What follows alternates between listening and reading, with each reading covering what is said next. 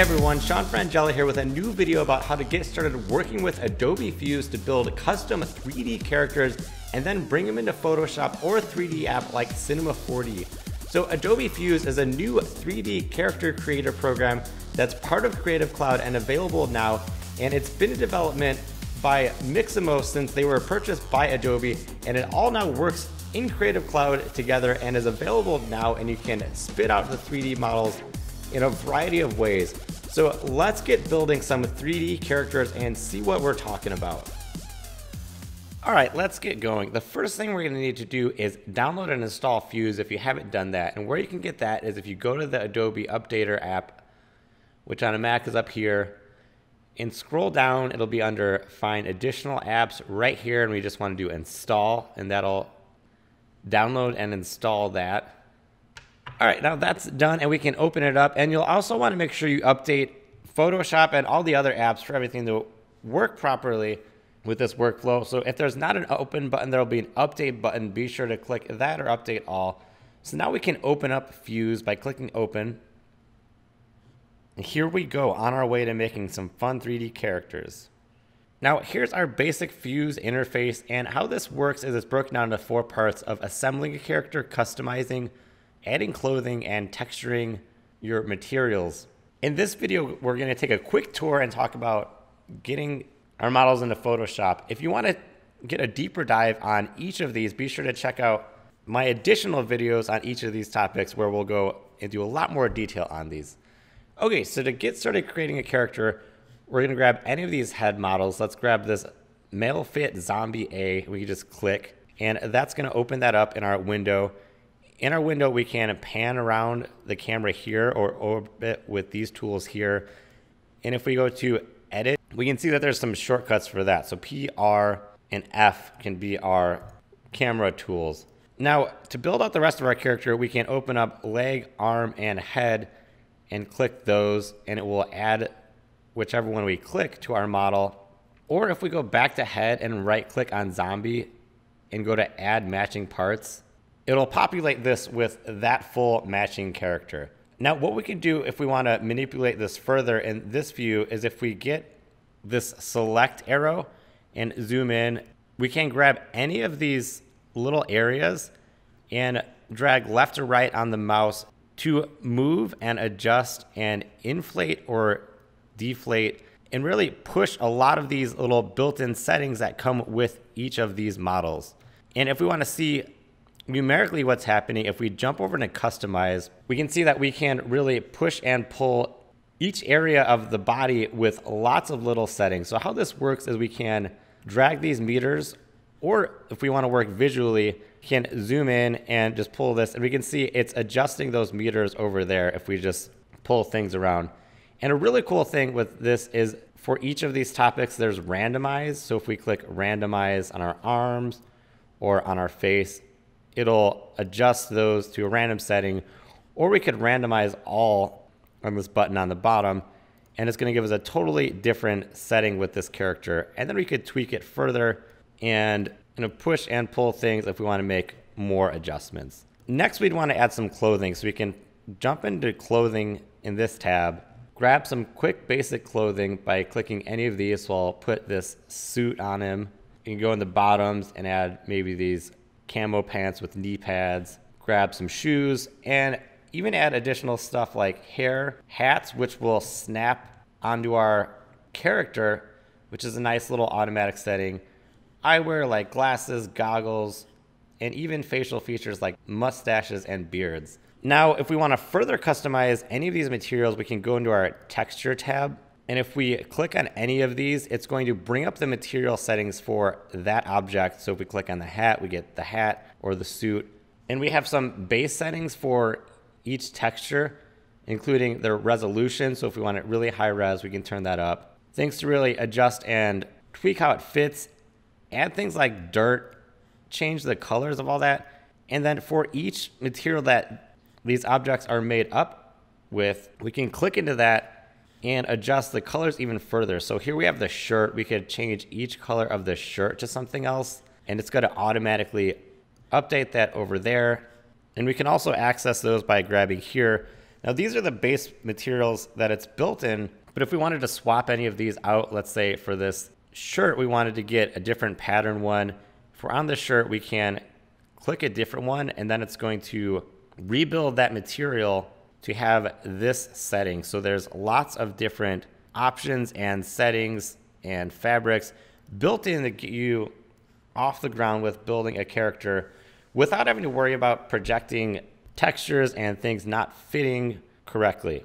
So that looks good as a, a base demo model. Now what we need to do with this and the real power of Fuse is that we can take this and bring it into Photoshop or spit it out for a 3D program and automatically add rigging and drop in some pre-built animations like run cycles, jumps, and all sorts of stuff. So to get this into Photoshop and into our libraries, what we can do is go to save to CC libraries.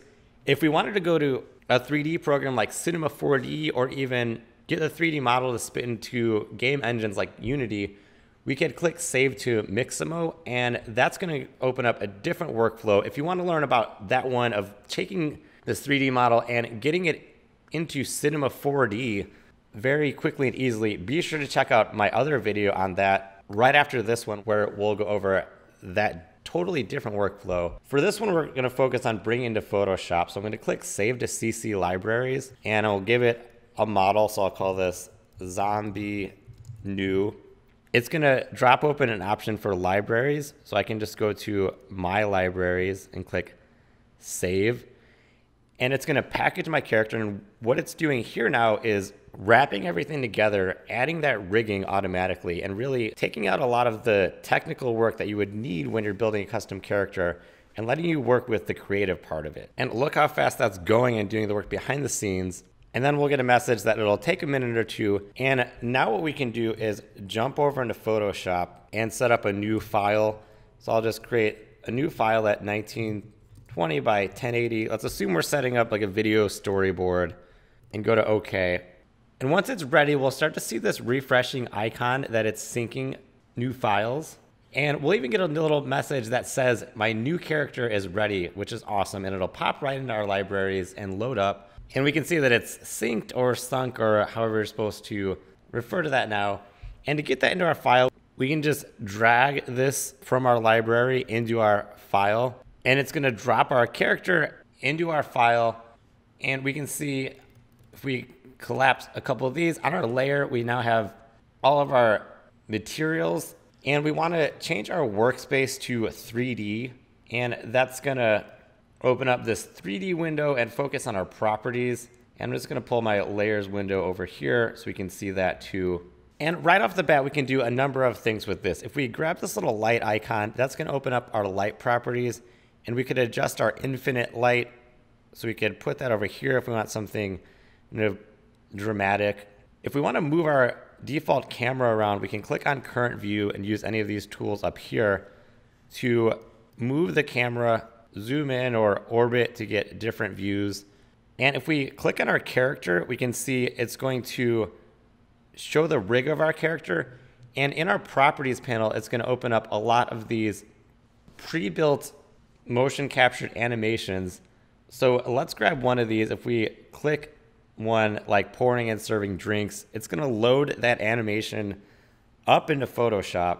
And now if we open up our timeline down here, we could pick a frame by moving ahead. So let's take a look at this and let's go with that one and just position our camera and get a good look at this guy. Okay, so now that we have that set up, you might be wondering why I would bring this into Photoshop or what I can do with this.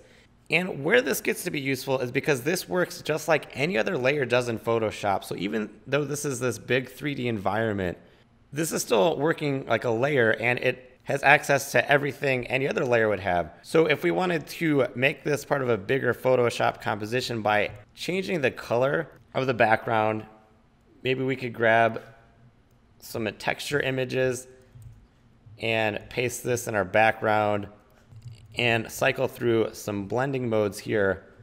With our character layer, we could still add things like layer styles if we want to colorize this and give it kind of a silhouetted or change the blending mode something might multiply and get kind of a limited color palette look.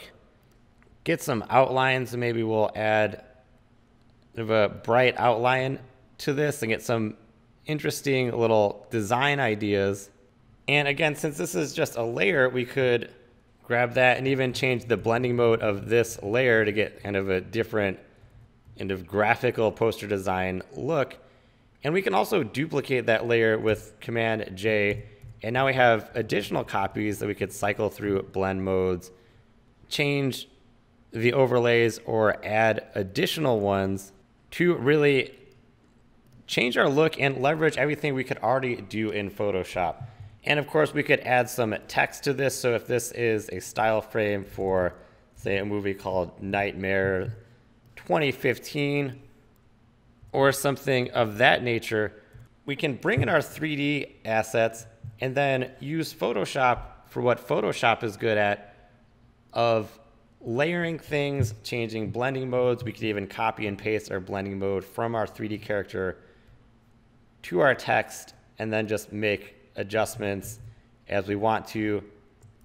Maybe again, just thinking as we're going through this now, cycle through and change some blending modes. And very quickly and easily, we have this style frame or poster set up that looks pretty graphical without having to worry about getting too deep into a a full 3D workflow. And for our 3D layer, once we're all set, we can grab this back and click this render button. And that would render this in full resolution.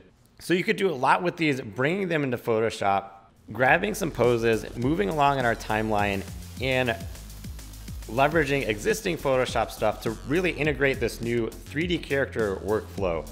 And if you want to learn more about working with Fuse for building 3D characters, you can check out my other video about taking our character from Fuse and bringing it into Cinema 4D, where you can really get full control of animating and customizing this in a full 3D program, as well as check out some of the other videos on diving deeper into things like assembling our character, customizing it, adjusting the clothing and textures to really get a thorough understanding of everything you can do right now in Adobe Fuse. And to get more videos on motion graphics and 3D animation, be sure to subscribe to the channel at youtube.com slash Sean Frangella. And if you have any questions on any of this stuff, you can hit me up on Twitter. I'm at Sean Frangella. And if you want to really help the show keep going, you can support the show on patreon.com slash Sean where you can get access to project files, like the ones you saw in this video as well as many more. As always, thanks for watching. I will see you at the next video. Do you like watching these tutorials and want to see more episodes more often? You can help keep the show going by lending your support on Patreon at patreon.com slash Sean Frangella. More importantly, if you want to throw in a couple extra bucks, you can get bonus content like project files used in the tutorials, answers to direct questions, live hangouts for questions, and even request specific tutorial topics for me to use for my next video. Also be sure to subscribe to the show by clicking the subscribe button or visiting the show homepage at youtube.com slash Sean Frangella. And if you're hip with social media and have a question about this tutorial, you can find me on Twitter at Sean Frangella. As always, thanks for watching and I will see you at the next video.